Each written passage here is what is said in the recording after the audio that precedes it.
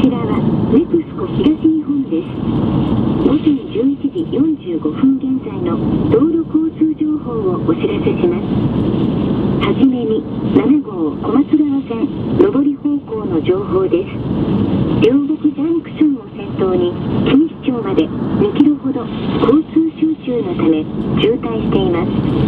引き続き木更津方面へ走行中の方にお知らせします25キロポスト付近の穴